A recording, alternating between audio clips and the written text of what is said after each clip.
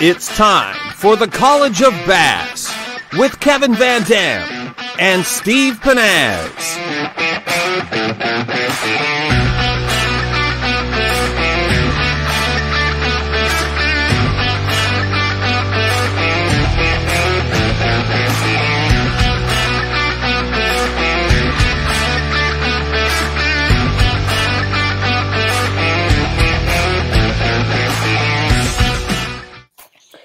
Hey, everybody, welcome to week eight of College of Bass. I got to admit, this is a little bit bittersweet tonight because this is our last episode uh, for the year. So have fun. We're going to have a blast. We got some great giveaways tonight. We're going to dedicate the entire episode to you guys tonight. So feed us your questions and uh, we're going to have a ton of fun. Hey, and remember, if you missed any of these uh, previous shows, they're housed on the YouTube channel for both Kevin's uh, page as well as Plano Fishing. So uh, you can catch them back then, and I can guarantee you they're worth going back and watching them because you they're loaded with great fishing information. Hey, Kevin, um, welcome, man. It's good to see you.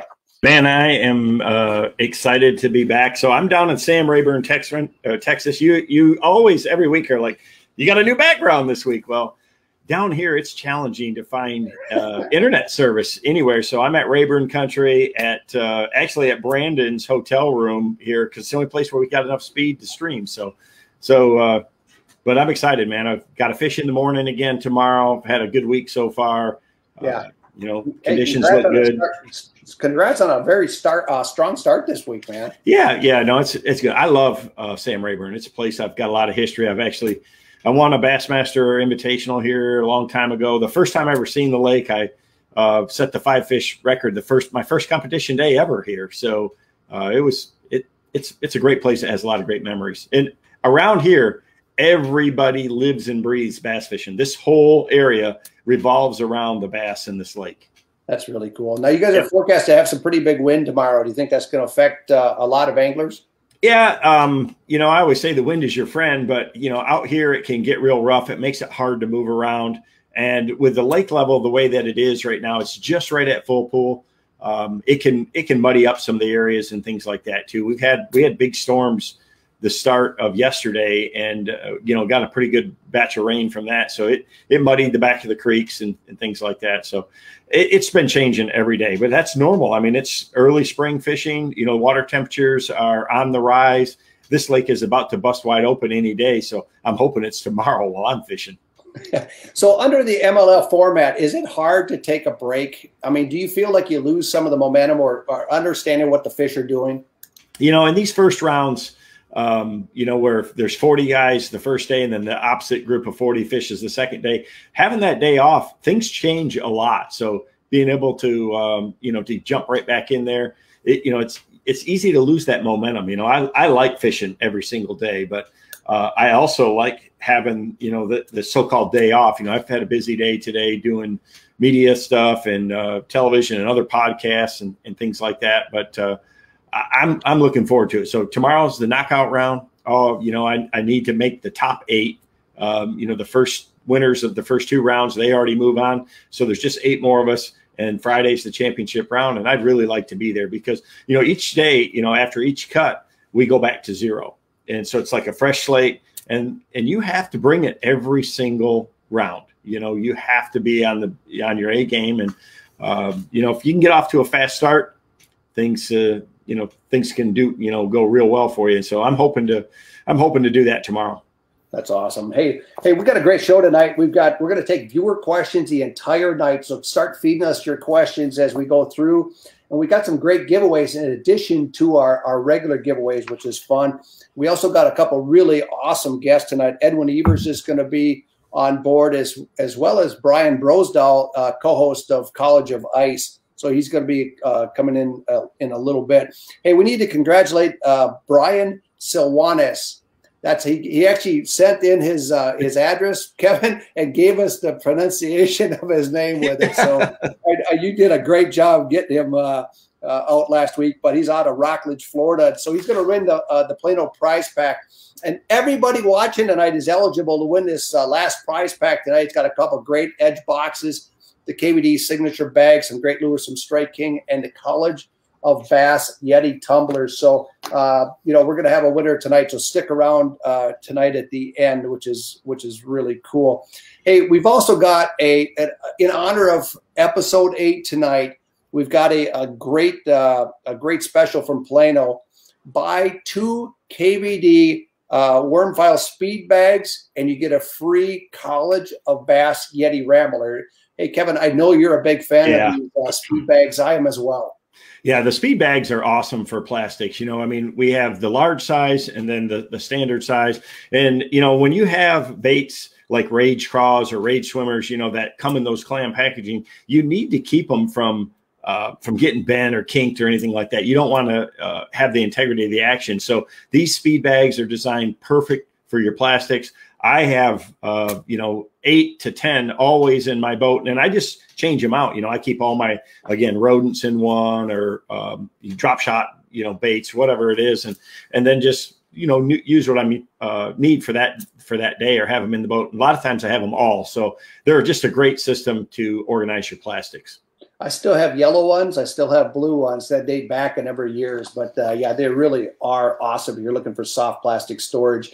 Hey, and by the way, that that special runs through uh, Sunday. It's already up and running on the PlanoMolding.com uh, site. So go there, and we know it's going to run out. Uh, we were running fairly short on some of these mugs now. So if you want yeah. this, take advantage of it. Order it tonight. Uh, and we did have a question from uh, Daryl Ekstrom. He said hey, are there any mugs left? And uh, yeah, there are, but they're running out. And he wanted one to patch, believe it or not, his College of Ice mug, which uh, he's been a well, viewer. So the other thing too is all the proceeds from these go to the Professional Bass Fishing Hall of Fame. So you're, you know, you're helping a, a great cause, and uh, you know something that's obviously uh, great for all of us. So. Yeah, uh, and it's cool. I mean, I the that Yeti Rambler mug is the one sponsor product I use it every single day. I mean, I put coffee in in the morning. I've got it full of uh, right now. We got Aquafina, but I want to have it ice cold. I, I, just keep it. I have it with me all the time in my truck and it's in the boat. It's just perfect, you know. So they yeah. they really are amazing. Hey, last week we had uh, uh, Plano Pro Ryan Latimer on, and BLAT. Uh, it was really obvious from the comments that he's a, got a very strong following, which was which was cool. But the topics for the night were electronics and deep cranking, and we had tons of questions. So I want to get to as many as we can right now. We got the first one is actually from Matt Ortloff. Uh, he says, "How far past where you think the fish are do you cast your deep cranks?" Well, th- that's the thing. So you you know with a crankbait like a Strike King XD series, really any of the sizes, they have a real steep dive angle. So you've got to be at least a third farther of the distance for that bait to get down to the bottom in, in most cases, you know, so it's not going to get its maximum depth and, and so if you make a, you know, a 60 yard cast uh, with a 6XD, for instance, you know, I want to, you know, I want to have the, the fish halfway between. So I know that I'm in the zone, the bait's down there on the bottom. So it's all about feel and positioning. It's something you can, you can get figured out, but that bait needs to be on the bottom where the bass are at. That's awesome. Hey, uh, Bill Tharp asked a question. He said, "What's the best time, best way to fish for spawning fish that you can't actually see?" Well, we end up having to do this at a lot of the lakes we go to, especially you know places in Florida and that where the water's dirty or they're scattered in grass. And the, the biggest thing there is is just trying to understand what they spawn around. So if you're fishing along a lily pad edge or a Kissimmee grass line or something like that, or just down a bank, you know, next to a stump, when you get to a high percentage zone or a hole in the grass, leave that bait soak a little longer. You want it to, you know, you want it to sit there, you know, just like if you were sight fishing for one, it takes a lot of, you know, sometimes two or three casts to antagonize them into biting or more. So you have to think about that when you're blind fishing for spawning fishes. Just be more patient, let the bait sit longer, and in those high percentage zones, make multiple casts. Hey, we just had a question come in from Jeff uh, Kotelik. He says, "Do you think the Mega 360 will take a backseat to the Mega Live that's coming out?" Um, I, I'll tell you that I don't. I love the Mega 360, and because it's so good at seeing the structure around the boat. I mean, it, it is a, it's probably the main reason that I'm in the knockout round here at Sam Rayburn. You know, I'm using it to follow these grass lines. I can see the holes in the grass. I'm following the edges. I'm casting to them. I'm casting to these irregularities to get the bites that I that I'm getting. So uh, I can't imagine. I haven't used the live yet. So what I want to do is use them both in unison. So uh, I, I, I don't know if we'll be able to see them at the same time on the same screen, but I will have two graphs if I have to to use both. There's there's no doubt they each have. You might be going to five graphs. I might have to have six. You never know. I mean, wow, that's um, awesome. It you know when you're when you're competing as a professional, and people will say, "Well, man, that's just crazy," or "I can't afford to to spend that." But this is what I do for a living. You you know you have to to be competitive, you have to embrace technology. And right now, we're in the golden era of technology, and it's just it's just such uh, an improvement to any angler's game. And if you don't have it, you're you know you're behind. So you have to embrace that technology. Hey, we had a question uh, from Randall Heron. He says, "Talk about upgrading hook sizes on cranks and lipless baits." Yeah, so I you know I use my Mustad KVDs, and they're ultra short. I mean, they're they're an extra short shank hook, but they got a real wide gap, so it allows me to upsize and not have the hooks tangle. So like a KVD 1.5, I I put two number twos, a half ounce red eye shad, two number twos. You know, jerk baits. You if you put too big of hooks on them, they start to sink and you lose the balance. So baits like top waters and jerk baits that are real weight sensitive, you got to be a little more careful on on your hook sizes. So I experiment, but I really like to go as a general rule on my crankbaits to go up at you know one size from what they come with. So if they come with round bend number fours, I'll go to the twos. If they come with number twos, I'll go to a number one or even a one aught in those in those KVD extra wide gaps. It it just is, um, you know, I I just have so much confidence in them. When you get a bite with them, it just locks them in place. That style, that uh, and, and the gap is so wide because the shank is so short. You're not giving anything up from from going away from a standard round bend. You know, it's amazing though how hooks have really improved oh. over the last decade and even even the last five six years. They've, yeah, the the sharpness and the durability. Um, you know, these black nickel finishes. You know, if you bend one or nick one, you can sharpen them, but it's it's better just to replace it. You can't make it as sharp as the factory can. That's amazing. Hey, we got another question. Uh, John Meyer asked a question. Where do you run your sensitivity and contrast on your mega and your side imaging? Yep. So um, the biggest thing you want to do is look at your your picture clarity. So I I you know I really look at the setup of it, and I think a lot of people get some interference and stuff when they're they're trying to adjust the sensitivity or contrast because of actually electric issues in their boat rigging. So I have dedicated power to my electronics. I mean, I don't they don't go through the master uh, switch on the console. I have straight power to the units on the front and straight power to the units on the console, and that makes a big difference in the clarity that you see on the screen. I mean, I do screenshots and people say, "Man, mine isn't that clear." Well, I, I finally figured out that most people don't have their electronics probably wired right uh, to, to get that. So you don't really have to change the sensitivity a lot. The only th- time that I do is if you're really trying to scan way out. Say I'm at Lake St. Clair and or Lake Erie, and I'm just covering a big flat looking for boulders, and and I'm trying to look out 100 or 125 feet further out. That's when you want to adjust. You know, you want more power, right? So you, you increase the sensitivity. Sensitivity. The other thing that I do is experiment with the different palette colors um, for it. My favorite is the amber two, is kind of that amber base, but um, you know, like for brush pile, looking for brush piles and things like that, the green really stands out. And for certain people, different colors um, just show things better, especially in subtle detail. So uh, I know a lot of people like the blue. Um, you know, I mean, everybody's across the board. That's why they have all the different colors, so you can personalize it to what your eyes see the best in that situation. And it, it's just great to to change from one to the other and just see how a grass line looks, or a brush pile, or a rock pile. You know, or how it looks in the sun. I know, I, I you as you know, I run Garmin, and and the, those are the two colors that I go to a lot, especially the, the emerald yeah. green and the and the amber. Yeah. Hey, another question on color. Justin Evans asked. He says, "Does braid uh, color matter?" can fish see bright colors. I've got a strong yeah. feeling on this. Yeah, I do too. They absolutely see braid, and I think they feel braid. You know, it, it just it has more. Uh, it doesn't cut through the water like fluorocarbon does. It it displaces water, and I think they can feel the vibration off big diameter braid. But you know, I color the if I'm using straight braid on a frog or a swim jig or anything like that. I'm going to use a black marker. I know, like Greg Hackney, he likes red. He likes to color his red, but we want to darken it up, especially if you're fishing grass and stuff. Make it blend in uh, with the surroundings if you can, or use a fluorocarbon leader. You know, on a spinning rod, I'm pretty much using a fluorocarbon leader, and I will make that leader longer in real clear water. I don't want those fish to I don't want them to see that braid. I'm trying to do everything to camouflage it, but I like to see it. So, you know, with a spinning rod, using that nice bright yellow braid with a fluoro leader is great. But on a bait caster, I'm using that, you know, dark green braid so it blends in with the surroundings. I got a funny story. We were doing a, a television episode one time. I had a, a charter captain uh, mic'd up, and he didn't know we were listening to him, and he was complaining to his first mate that Pennaz brought all these uh, half these rods with the bright green line, first six bites were on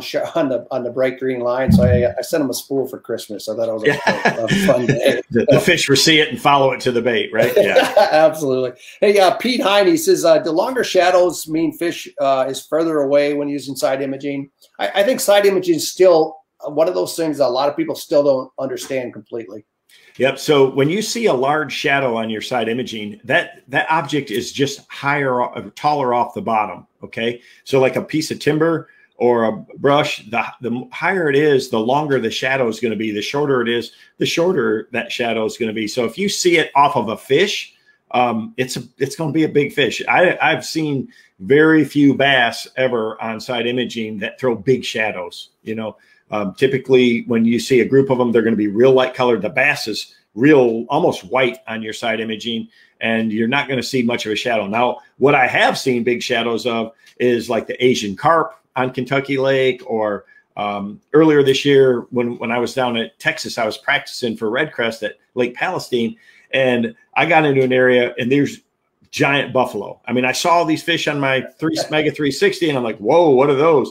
And uh, I threw a crankbait out there and I caught about a 40 pounder. And I'm like, oh, now I know what they are. I mean, when you got a fish that big, um, they're going to they're going to do that. But typically, you know, for your you know a, a one pounder or two pound bass or you know three pound bass, it's not gonna it's not gonna show a big shadow. The shadow is more the height of it or you know how close it is to it.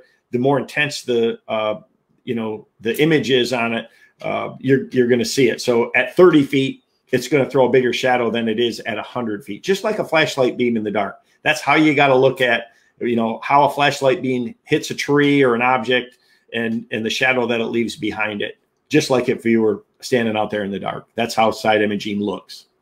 Hey, this next question is from Joe uh, Treybolt. I think I pronounced his name right. He says, How do you maintain your health? I mean, I look at you, you're looking like you're buff, you look like you're ripped. I mean, you're bouncing around all the time. But you know what? I, I, mean, I know a lot of anglers, and, and I'm dealing with it right now with fishing elbow and, and things like yep. that. What do you do to keep in shape? One of the most important things to do is just like any athlete is you need to stretch before you start your day. Um, you know, I do finger stretches, arm stretches, elbow, shoulders, knees, all of that. Just just take 10 minutes when you're getting ready before you go out there and and stretch uh, everything out. And when you get there, you know, like in cranking season, the worst thing you could do is pull up on your first spot and, and bomb a 70 yard cast with a 10XD out there. You know, give it, you want to ease into it. You got to warm up just again, just like any NFL player would or a hockey player or any other athlete. You want to warm up and you definitely have to stretch out before you, uh, before you get out there and do it and, and do, you know, stretches specifically for those areas for your wrists, your elbows, and your hands. That's the most important things. Stretch your shoulders out, spend some time uh, doing that. You know, I have never been a huge workout fan uh, over, but as you know, as I've gotten older, I've had to. You know, I mean, I do sit ups in the morning, I do some push ups. I don't want to do. I'm not lifting heavy weights and and doing extreme things like that, but just things that cardio wise to to go because the most important thing you can do as a professional angler is be 100% on your game for all eight hours. If you're getting tired at the end of the day, you're not, you know, you're not going to reach your your true potential.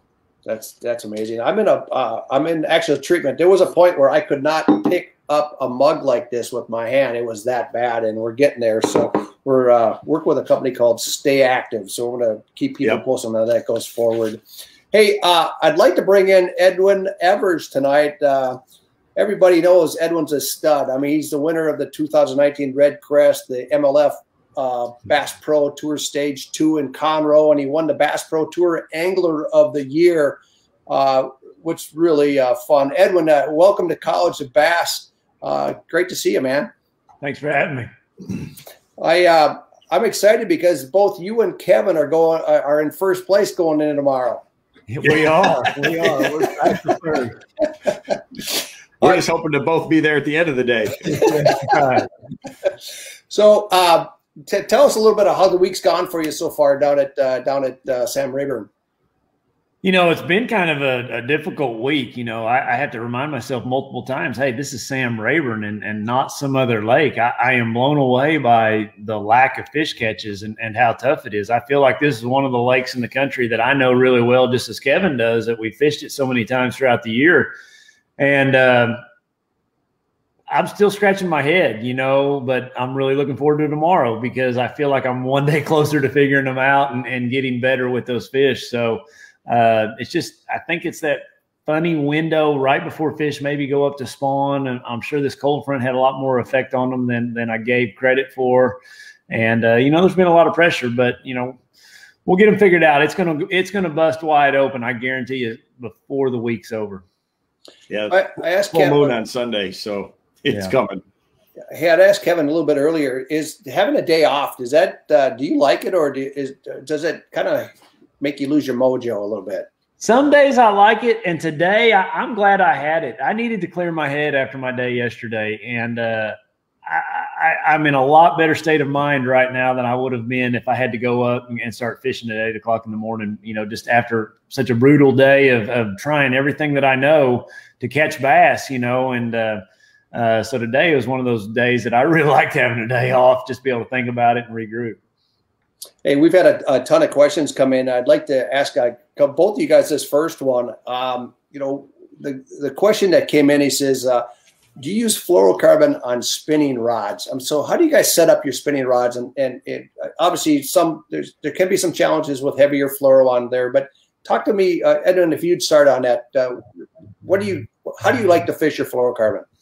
I like to have braid with a fluorocarbon leader. I just, man, you know, you have a lot less issues as far as line twist and you know you can cast braid so much further. Uh, it's just a lot softer more limp line than than fluorocarbon. Um, you know i guess there's probably a few instances if i'm throwing like a little spy bait or a little crank bait or something that i want that fluorocarbon. But for the most part i'm all braid with a fluorocarbon leader.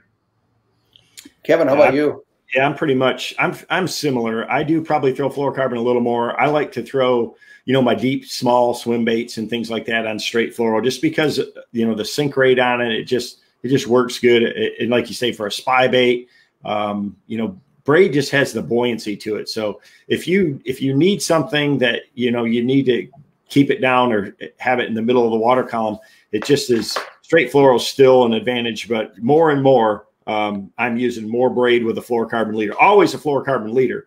And, and I like a pretty long leader in clear water, but just advantages of uh, you know the distance and the sensitivity and just not having the headaches of having that i call them woofers when you make that cast and you get a big ball of fluorocarbon at the first guide you know it just uh, you know most most pros now are primarily using braid with a fluorocarbon leader for almost everything spinning so when you say long leader kevin how long are you going uh, I like a I use a 30 foot leader a lot, you know, especially on the Great Lakes and that, you know, down here, if you're, if you're, uh, you know sight fishing around in the in the bushes and things like that you don't need a very long leader. A 10 foot leader is, fine but uh, on the great lakes in that real clear water i've just seen them be real line shy to that to that braided line.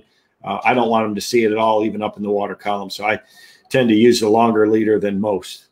Edwin how long are you running typically I don't like reeling the leader into my into my reel. I feel like there's been some times when I'll go to make a cast and that knot for whatever reason will catch somewhere on that bail. So uh, generally, you know, I'm listening with ears wide open here to Kevin's. But for me, my leader is always it never gets into my reel unless I'm drop shot. And if I'm drop yeah. shot, then I'm just dropping it straight down off the side of the boat. But you know, if I'm casting it I don't want that leader down that knot into my reel because I feel like there's some times, you know, just it may happen one in 20, but somehow that knot will get entangled into that spinning reel when I open the bail and it doesn't come off properly. Yeah. The one thing I bet you is you use an FG knot, I'm guessing. I, I don't do anything but an FG knot. I, I just haven't taken the time to learn it. You, you, it, it is I, if one piece of advice that I can give everybody out there tonight is learn it, the FG knot. It is it's so much better than any of the other ones for coming off your reel. It's a, you know it's the only way to go. It's it's not even a knot. It's just it's like a Chinese cinch knot, and it just never if you tie it right, it just never fails. And it's made a big difference for me for my blade or uh, braid to fluorocarbon connection. I need to try. Oh, so, sorry. Hey, we got a question from Chris Fryer uh, for Edwin. He says, "What are your two favorite, uh, two to three favorite uh, Berkley baits for this time of year?"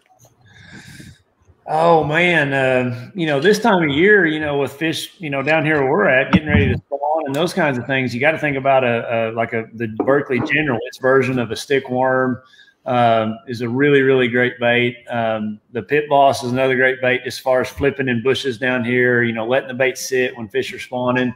Um, and then you'd have to throw in like a, man, it'd be, it'd be tough between a top water and like a war pig. A war pig's their version of, of a lipless crankbait. And, uh, you know, it's just hard to beat that, you know, pre-spawn bite with a lipless crankbait. I just, I love it. And uh, it's a lot of fun to throw.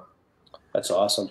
Hey, uh, we had a, a, question from Troy Roach for both of you guys. Uh, would you, you know, what uh, what advice do you have on fishing as a co-angler?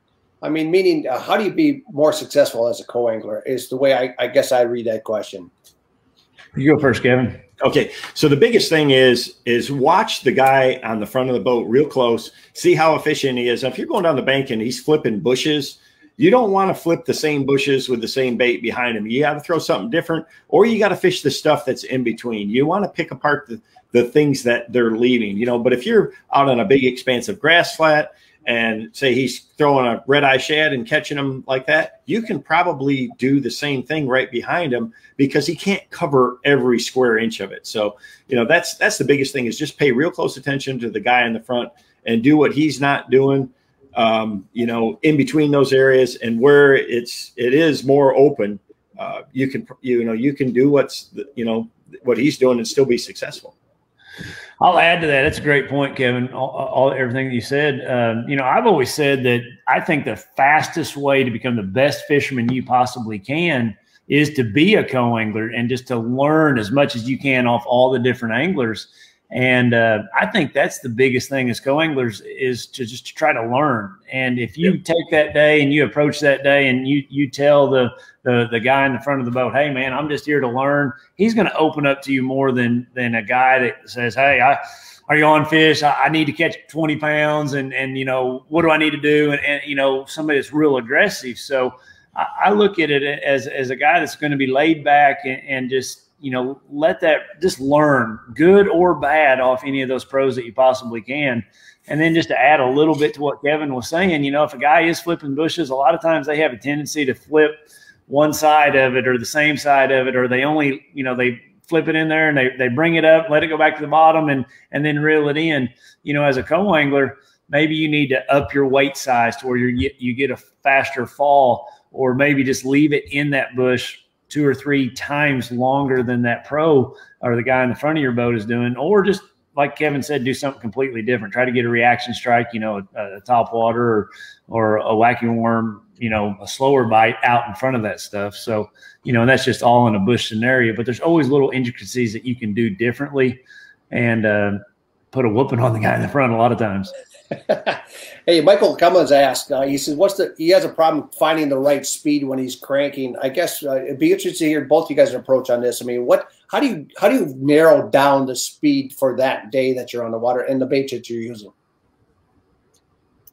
Go ahead. You're the, you're the cranking man. I, I mean, I, you are by all no, means. So. so. speed definitely, uh, you know, speed kills for sure, and it's really about this time of the year, the water temperature um, the conditions that you have. But uh, you know, once the water warms up, faster is usually better than slower, but it's it can vary. I mean, uh, the cover that you're in, you know, so, you know, sometimes if you're in thick grass, you're cranking grass or something like that, you need to slow it down just because it's hard for the fish to find the bait. You know, you want it to rip free, to stop, you know, to deflect off the cover a little bit more. So the biggest thing is experiment until you get a positive reaction, until you get a good bite, and the way they bite the bait should tell you if you're doing it right or wrong. You know, if they're barely hooked and just with one little hook on the, you know, the back hook on the tip of their lip, they didn't really, you know, you didn't get them to really react real well to it. So, uh, you know, that's what I'm doing is paying real close attention to that, varying that speed. I'm changing speeds a lot,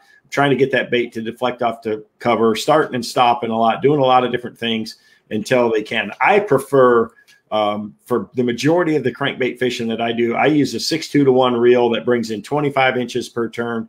And I'm just I'm a little more aggressive than some people. I like to wind that fast. It's just it's my comfort level. It's what I've grown accustomed to. I know a lot of people like to use a faster reel and and try to force themselves to slow down.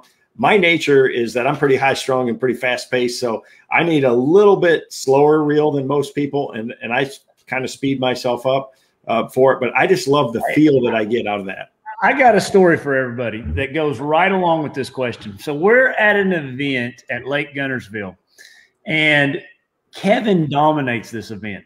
And the water temperature, correct me if correct me, I'm not going to be 100% on this, but it's like in the mid 40s, like mid to high 40s. And you know, I leave that event that event scratching my head, but I remember a few bass that I caught. It'd be that last 10 feet, and I'd reel that bait in real fast and make another cast, and one would get it. Well, Kevin ends up winning the event or doing really good, and he's burning that lipless crankbait, you know, that entire week in a in a situation where, you know, me as a as a younger angler back, this was 10, 15 years ago, was thinking, man, colder water, slow it down a little bit. But that bass told me, hey, right that last 10 feet, you know, you need to reel it faster. And, and, and, am I right, Kevin? You won that event or did really good burning that lipless crankbait in really cold water. So, like as Kevin says, you've got to just experiment just because it's maybe cold water. A lot of times, yeah, it could be a stop and a go and a slow retrieve. But then there's also times with those high pressure systems that you've got to burn that bait to get those fish to react. Yeah, you always got to experiment and listen to the fish. You know, when you know the it's all about uh, paying attention to exactly what you were doing when you get a bite. It doesn't matter if you're flipping, cranking, drop shot and whatever, you know, whatever you, you know, were doing when that fish bit, you want to duplicate it again. I still am going to keep experimenting, but when you get that real positive response, that's pattern fishing 101 is just to duplicate the same scenario. Hey, Junior Figueroa asked a question. He says, when the pros say, and I heard this multiple times already this week, uh, that the bass weren't positioned right – what exactly does that mean? Explain that uh, for, for, questions. And and by the way, this is the winning question for uh, Kevin has picked this as the winning question for a College of Bass Yeti Rambler. So Junior, uh, we'll, we're going to need you to uh, send us your address so we can ship you one. But it's a great question for both of you guys. Go ahead, Kevin. okay. So a lot of it is um, if we, you know, when I see them cranking, for instance, and and they go through and, and side image a school of fish on a ledge or whatever. I want to see them, you know, set up on that structure, you know, on break. Uh, and when I say structure, structure to me is not a brush pile or rocks or that structure is a depth change. It's a contour change. And, you know, if they're suspended five foot off the bottom, above it, or off the edge, that's not in a feeding zone. You know, you want them, you know, pretty much right down near the bottom and right on that highest spot that means they're in the zone where they're in position to ambush, you know, a pot of shad or anything that's coming by like that. When I see that, it's like, yep, I know it's going to be game on. So, um, and that doesn't mean that you can't catch them, but when they're in that mode and they're in that zone, they're going to be more aggressive. The strike zone's bigger. They're they're going to be chasing, and it's easier to to catch them. If they're not, then you got to use a different technique. And um, you know that's why you where you'll see guys use some of these other baits, like a spy bait, for instance, when they're up off the bottom, uh, to, you know, you know, to catch them. So it's it's something that just comes with a lot of experience um, and and heartache from having you know knowing the bass are there and you and you don't catch them or you only catch one or two and or you bust up the school you know so it's just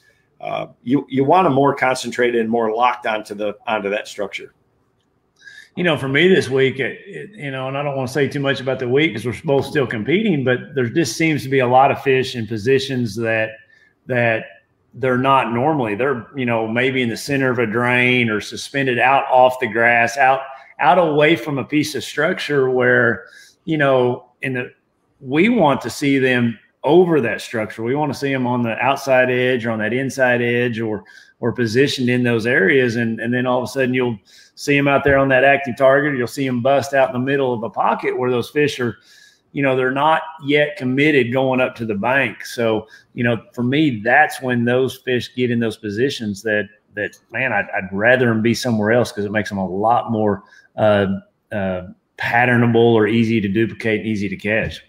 Yeah, just it helps when they're set up the way we want them to. It just it, it, makes it a lot easier to be more efficient. You know, you don't have to fan cast everywhere. You know where the target zone's at, right? Like say right to the edge of the grass or the right on the drop or whatever the you know whatever the cover structure is that you're fishing. So um, when they're when they're roaming around and suspended, that's when it gets to be a challenge.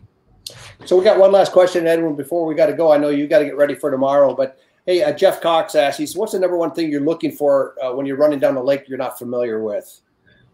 You know, that's always something that I just want to find something that I'm comfortable with, you know, something that I have confidence in. If, if, if Jeff, if you're a, a really good dock fisherman and, and you're running down a lake and you see all kinds of laydowns and riprap, but then you get to a few docks, I mean, start with something that you have confidence in, that you've had experience in.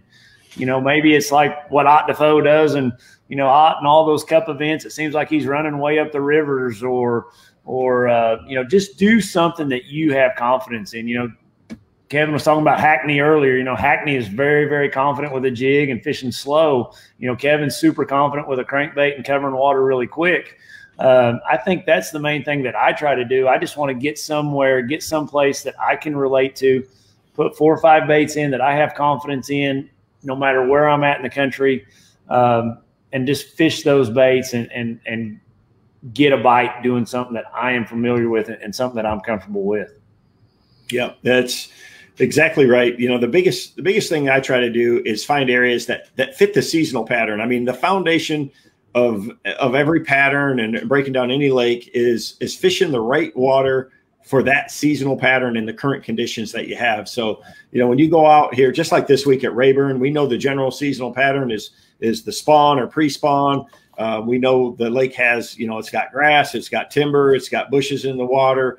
Um, but knowing that the fish want to to spawn, you know, you want to look at areas that have those the right ingredients before you even stop the fishing area. So, and then it's just about picking baits that are efficient to cover the zone that you're fishing, whether it's an outside grass line or you're flipping bushes.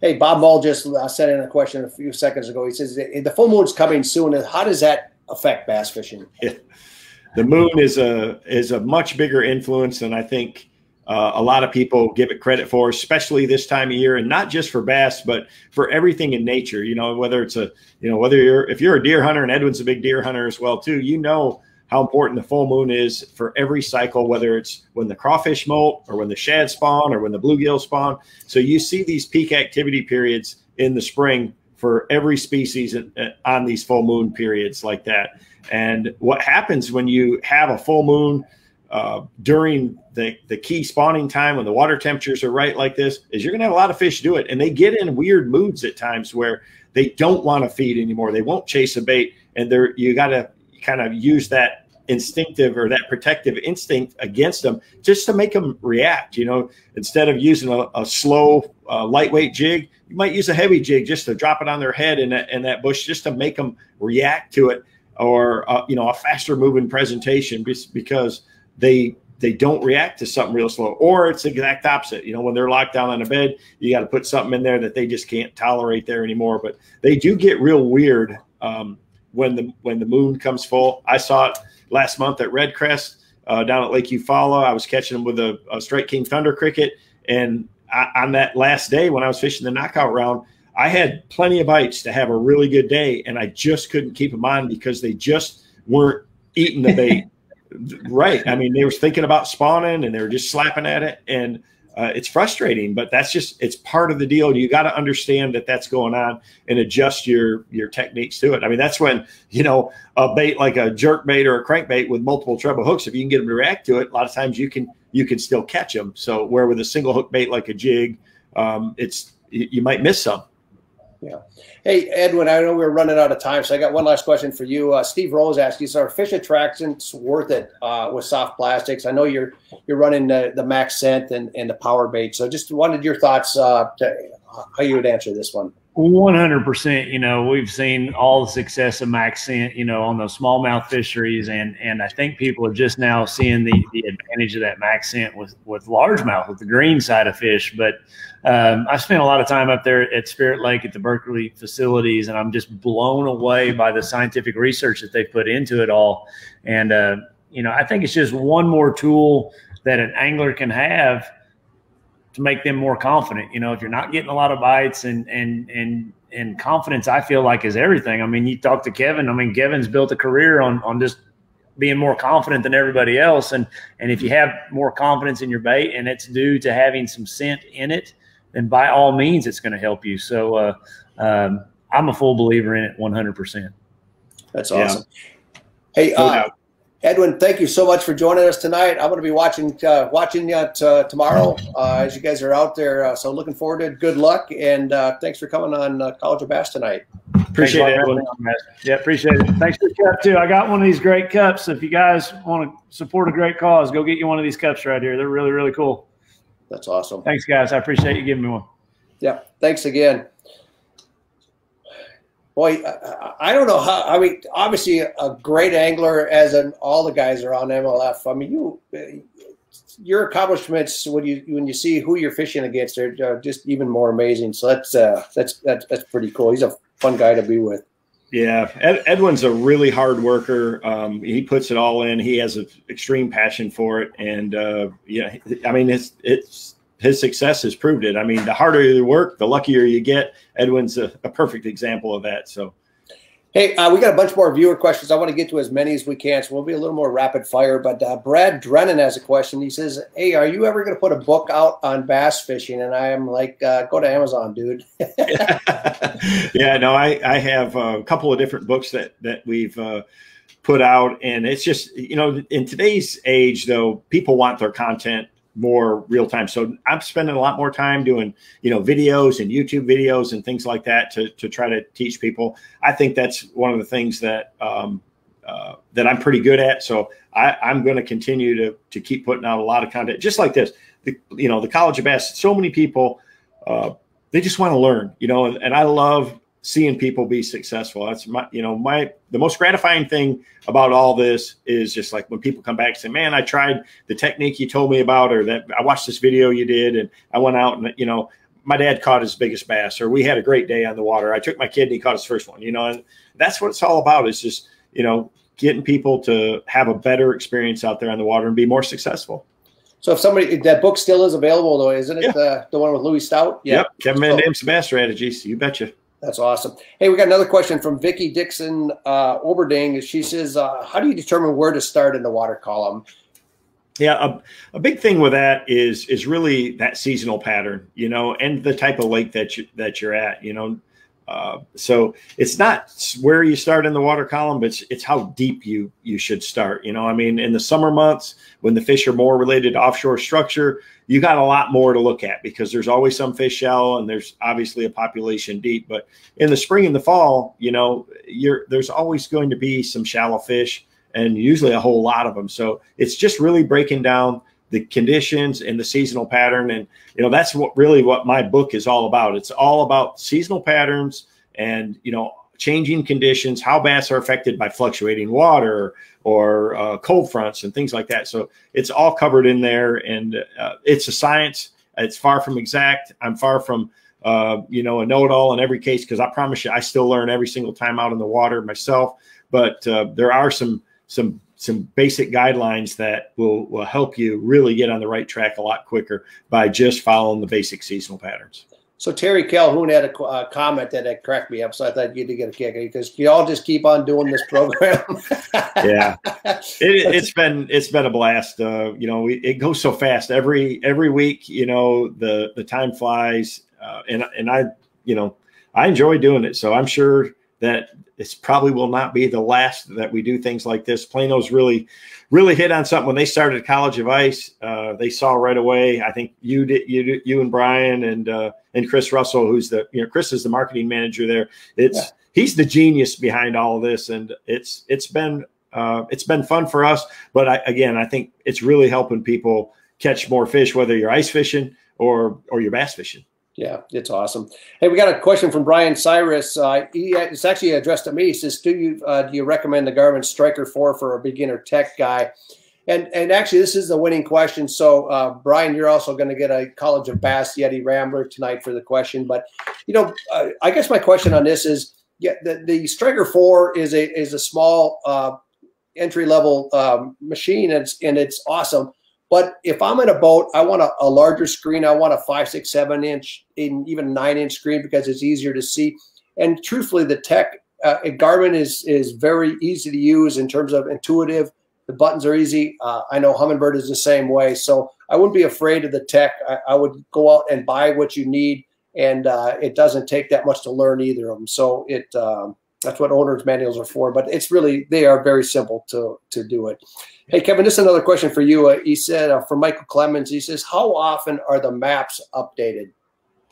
Oh, so like the Humminbird Lake Master maps. So yeah, yeah. they're constantly uh, they're constantly you know doing new lakes and then occasionally they do go back and scan some of the lakes that, that they haven't done in, in quite a while and you can see um, the version on the lake master map on it so like if you're at a, a retail store um, you can see if it's version two three four five whatever it is and uh, you you know the best thing to do is go to the Humminbird site go to the lake master uh, section and you'll see for the region of the country what the most current version is most updated version and unfortunately, they're not updatable. It's not like you can go in and download new information when they do it. It's it's really not that often um, that you know they they come out with a, a new version, but they are scanning more and more lakes all the time. They're doing more and more lakes.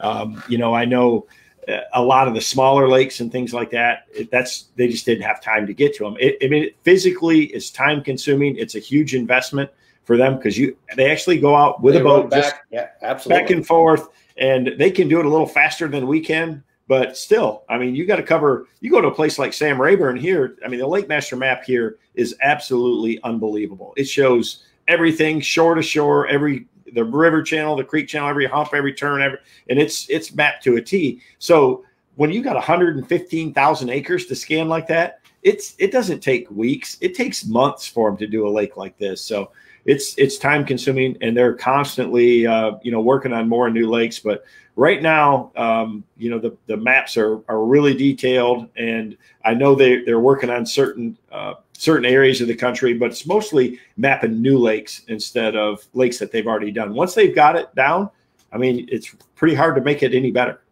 Yeah. Hey, here's an actual great question, and hopefully timely one for you as well. But uh, do you fish a lake differently during the week on less pressured days versus the weekend on a more pressured uh, great question. Yeah, it, no doubt. I mean, you got to be aware of the pressure out there. And I'll tell you, I, fish a lot of places, and you know, Lake Fork in the spring is a place that gets a lot of pressure. But when I came here uh, on the weekend, and our practice day was Friday and Saturday, I was blown away by the number of people on the water. I mean, literally thousands of bass fishermen. You go into any creek or pocket, and there was a boat every hundred yards. So it's it's hard to go down the bank behind that many boats and, and expect that you're going to be super successful um, it, with with that. So it's something I you know take a look at, and I try to do things differently. I try to fish areas that are different than what all the you know the local pressure is happening, but no doubt that you know fishing on a Tuesday or a Wednesday is a lot better than on a Saturday. But most people have to work during the week, so you got to go when you can go, and um, you know that's that's what what I tell people is there's no substitute for time on the water. But be aware of what where they're at, what they're doing, and try to do something different if you can. Great, great comment. Hey, one of the uh, strongest followers of uh, College of Bass has been Lee Kimball. He's been on every week, and you made a comment last week that really stuck with me as well. You said fishing is hard, and I think that's one of the reasons that you like it. I know it's one of the reasons I like it because it, it the fact that it isn't easy, it takes effort, and I think that's a, a great comment. Yeah, no doubt. It, it, it's um, it's challenging to go out and be successful every single time, and and you know tournaments are a way to measure that. You know, to measure yourself against uh, other great anglers, and that's that's what I love about it. To me, the thrill in bass fishing is. I mean, I love to catch them just like you do, and everybody else does. But the thrill for me is figuring them out, figuring out the pattern. Um, you know, learning what they're doing because they don't, you know, talk and they, they you know, they you can't really uh, see yeah. them for the most part. It's yeah. a you know you're you're making educated guesses to to to figure out where they're at. And so when you have a great day and and you you know you catch them real good, it's it's really gratifying. And it isn't easy, and it's it's hard to be consistent day after day after day. And uh, that's why when you got a field like we do here at the Bass Pro Tour of 80 guys, you're going to lose a lot more than you're going to win because you know the 79 other guys are out there working just as hard or tr- you know trying to work just as hard and uh, uh, and there can only be one winner at the end of the week. So when you do get there and you're up on the on the stage and you got that trophy, it makes it all worthwhile. Hey, before I bring up this next question, uh, a few years back, we were on the Great Lakes fishing uh, smallmouth, and we found this massive school, and I, I made a cast out, and I caught out like a four or five pound smallmouth. I thought we were absolutely going to kill them, and about 20 minutes goes by, no bites. Half hour goes on, no bite. Then I snagged a sucker. and so here, this question that's uh, from Bill Dowery says, "How do you know you're marking bass as compared to white bass or other species?" Yeah, a lot of it for me is again through experience of seeing how um, the, the fish are set up on the structure. You know, you'll see white bass really grouped up. They'll typically be high off the bottom. They move a lot. Um, you know, they're co- they're covering ground. You'll see like the Asian carp the same way down in Kentucky Lake or in the Tennessee River. They won't be down on the bottom. What I'm looking for when I see bass is, you know, you'll come up over there and side image the top of that hump, and you'll see a group of four or five sitting there, and they're they're literally right on the bottom or a foot off, and they're and they're pretty tight together, and they're all you know just just kind of sitting there relating to a depth change that's a pretty good indication to me that that those are going to be bass. Or if you graph a brush pile and you you see, you know, again four or five of them in the top, if you see 50 of them there, and in the size you can tell too. It that's one thing you'll notice um, after you side image a lot and and you're on the same scale. You'll you'll see relative to size. You'll you know you'll see mark them. You go in there and you fish that brush pile and you catch four or five and you go, well, hey, these are all three and four pounders. So you you see in relative size how they looked on your screen to what when you put them in your hand, you, you got a pretty good idea. So it comes with experience, but mostly it's how they're related to the bottom and to the structure. Hey, uh, we're running. Believe it or not, we're running out of time already. I want to. I want to bring in a, a, very special guest tonight. Uh, everybody knows him as Bro. He's uh, Brian Brosdahl, full time ice fishing and open water guide in northern Minnesota, and uh, co-host on College of Ice. Bro, man, it's good to see you. Hey, good to see you guys. Great show. Couple of legends and uh, one of the best ever in bass. Uh, it's, it's, fun to be here talking to you guys right now from the icy north. Well, hey, how much I, are you still on the lakes? Uh, you could get out on some, but I wouldn't. It's it's very unsafe right now. We got early ice out, and just on your show here, not too long ago, we were talking about snowstorms in Bass Country and up here, we're talking about ice out now. So the world is mixed up right now. But I want to tell you, we still get big bass through the ice. You have to have a big hole to fit them. That's impressive. So, you know, the, the craziest thing is when I posted a picture a few years ago of a largemouth bass on ice, people just flipped out from the south. They're like, how can you do that? You know, they, they just think that they go dormant. And that's the one thing that being from the north has taught me is how active bass are in real cold water or even under the ice. You know, I mean, uh, just because it's frozen on top, the water temperature doesn't change, you know, down there, especially if you got a little depth to the area at all. And I'm amazed at how aggressive they can be even in that cold water. I mean, the day the ice went out in Michigan, before I came down here to Texas, I was out with a buddy and we absolutely hammered them. Um, and they were deep. It was a real clear lake. You know, they were a lot of them were 25, 30 feet deep, but they were super. I mean, the bite on that swim bait was like, punk. You know, you they weren't just easing up to it and barely putting it in their mouth. They were choking it.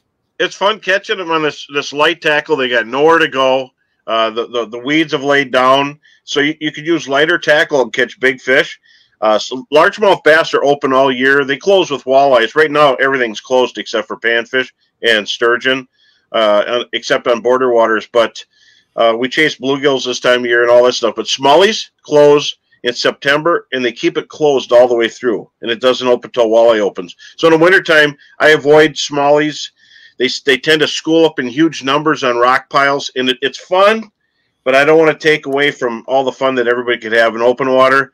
And they're vulnerable, I think, in the wintertime because literally they're all there in one spot, you know. So I try to avoid it at all cost. Yeah. So, bro, Oh, so go ahead, Kevin. Yeah, no, I think you know these uh, the biologists in a lot of these states they understand that's that's why we have the later seasons in a lot of the northern fisheries because the lakes are clear and they know they're very susceptible in their wintering areas and they're very susceptible in their sp- during the spawn. So, um, you know, we have year-round catch and release in Michigan, and uh, they've done a lot of studies on on that before they opened it up, and it's just made incredible opportunities for a lot more anglers, and people are taking advantage of it and learning that they're a lot more active and aggressive when you, people didn't think you could catch them.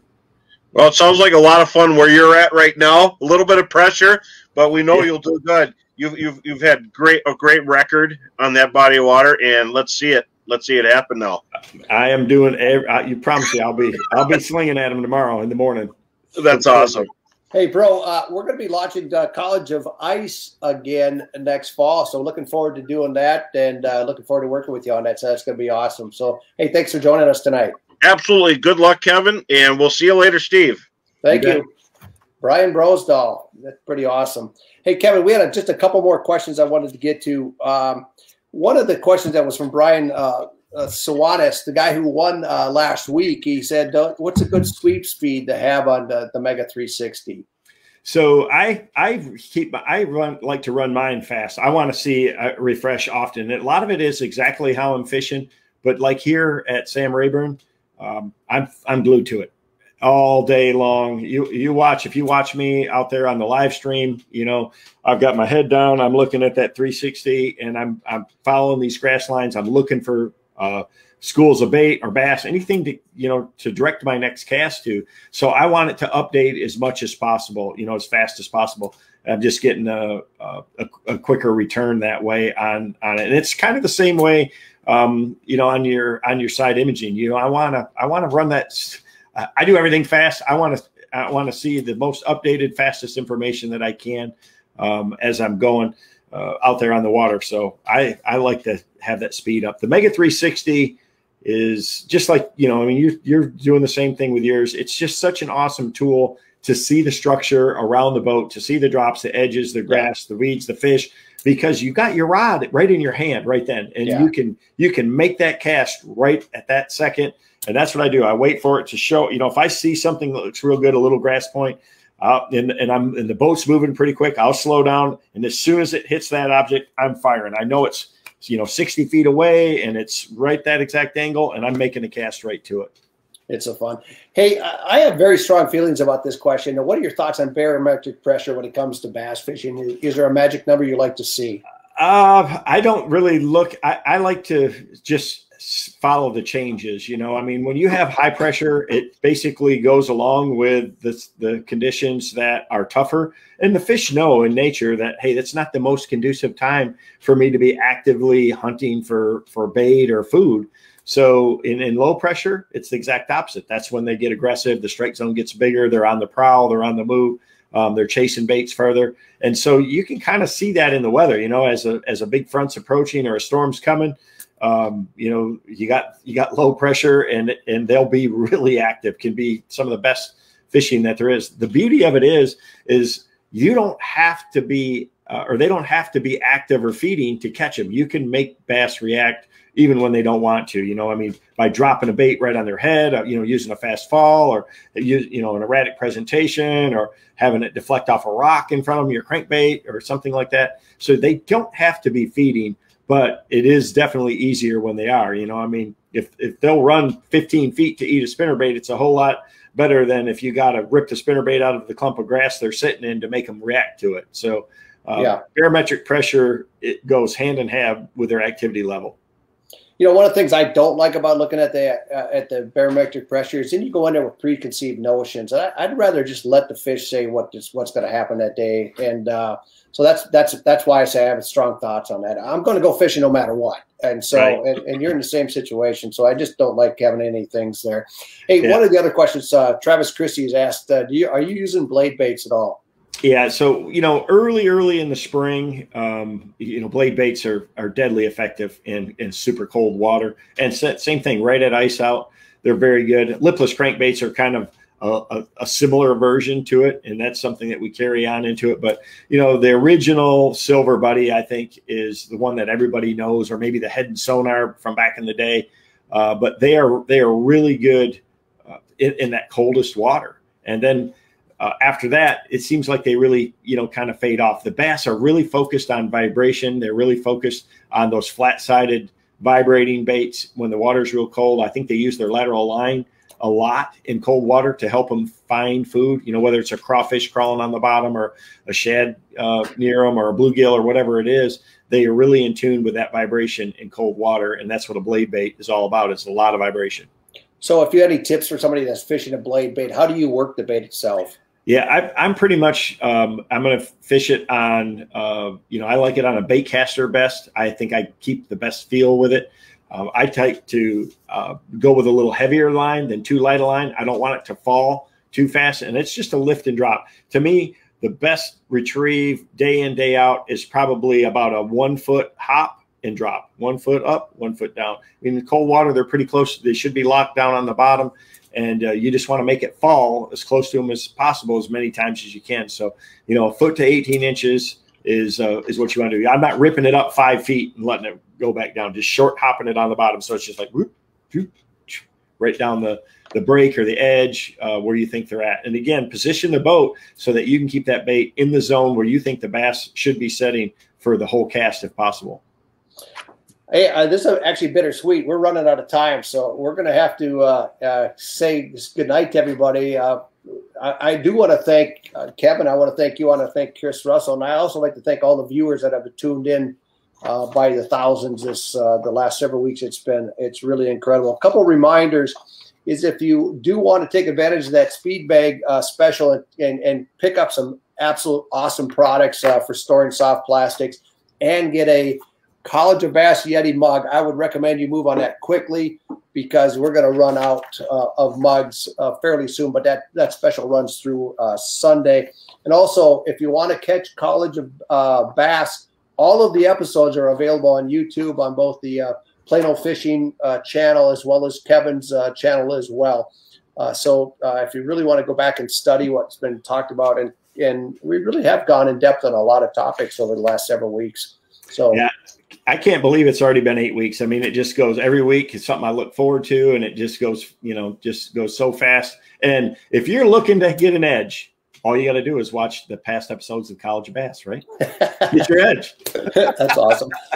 Kevin, good luck the rest of the week, uh, and uh, thank you for uh, the chance to uh, work with you on this. And everybody, we do have to pick the winner. By the way, uh, let me check. Did we get this one figured out?